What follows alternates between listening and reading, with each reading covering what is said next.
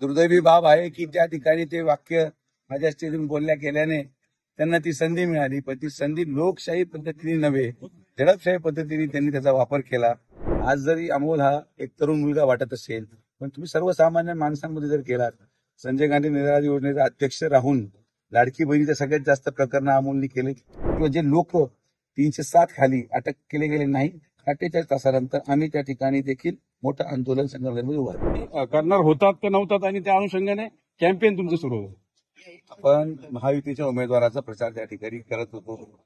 ज्या पद्धतीचं वातावरण त्या ठिकाणी निर्माण झालं ते वातावरण पाहून अशा प्रकारच्या ज्या घटना घडल्या आता ही दुर्दैवी बाब आहे की ज्या ठिकाणी ते वाक्य माझ्या स्टेजून बोलल्या केल्याने त्यांना ती संधी मिळाली पण ती संधी लोकशाही पद्धतीने नव्हे झडपशाही पद्धतीने त्यांनी त्याचा वापर केला.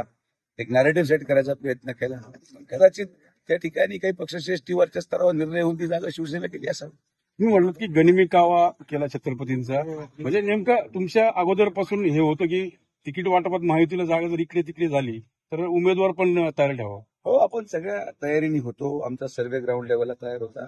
आज जरी अमोल हा एक तरुण मुलगा वाटत असेल पण तुम्ही सर्वसामान्य माणसांमध्ये जर गेलात संजय गांधी निराधार योजनेचा अध्यक्ष राहून लाडकी बहिणीचे सगळ्यात जास्त प्रकरण अमोलनी केले सगळ्यात जास्त डोल अमोलनी मंजूर केलेत. आणि त्यांचं एक युवकाचं संघटन अतिशय चांगल्या पद्धतीने त्यांनी बांधलं.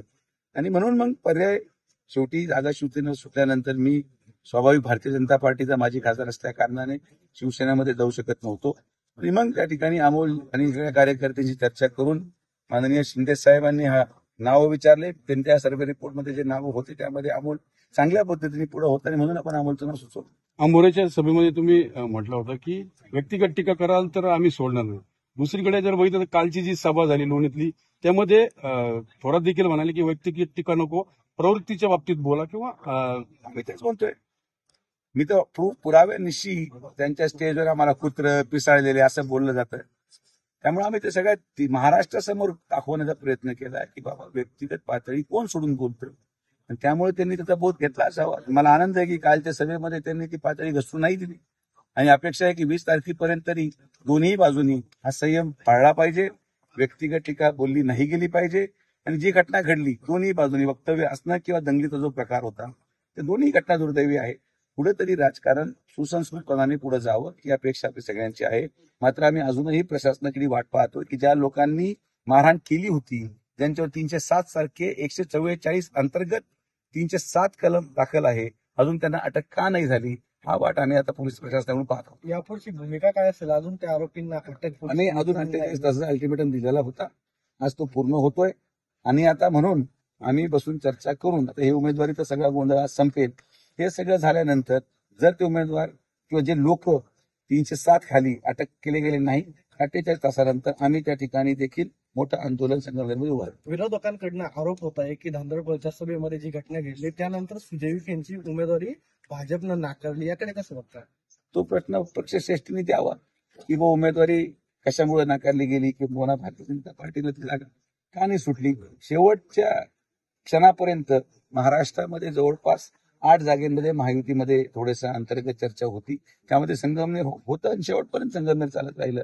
श्रीरामपूरचा पण तिला आता मला कळालं मला माहीत नाही पण दोन दोन एबी फॉर्म त्या ठिकाणी खाली आलेले आहेत. एक राष्ट्रवादी काँग्रेस घड्याळ चिन्ह आणि धनुष्यबाण असं माझी माहिती आहे. आता काय झालंय त्यानंतर ती सकाळची माहिती होती. मी वरती पक्षश्रेष्ठीनं कळवलं की अशा प्रकारे कदाचित काही मिसकम्युनिकेशन असू शकतं. मात्र सांगायचं तात्पर्य काय की अशा जागा क्लिष्ट होत्या. स्वाभाविक आहे की ज्या घटना घडल्या त्या घटनाक्रमानंतर दुर्दैव माझं किंबहुना जे वातावरण मी निर्माण करू शकलो त्यामध्ये हा एक अं, त्याला आपण म्हणतो घटना किंवा एक ग्रहण सारखं चित्र त्या ठिकाणी माझ्या जो चढाव होता त्याच्यावर लागला आणि मग जो काही नुसते पक्षश्रेष्ठीने घेतला तो आता घेऊन पुढे चालवला भूमीमध्ये सभा घेतल्या जात आहे विखे परिवारावर आरोप केले जात आहे याला विखे परिवार तसं उत्तर यातून खालच्या पातळीवर टीका केली तर आम्ही कुठल्याही प्रकारे ऐकून घेणार नाही ना आमचा कार्यकर्ता ऐकून.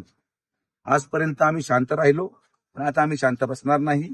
मी स्पष्ट सांगितलेलं आहे सगळ्या कार्यकर्त्यांना की जो विरोधकाची सभा असेल त्यांना विकासावर बोलू द्या.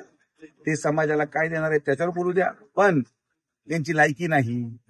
हे यांचे कार्यकर्ते कुत्रे आहेत पिसाळलेले आहेत.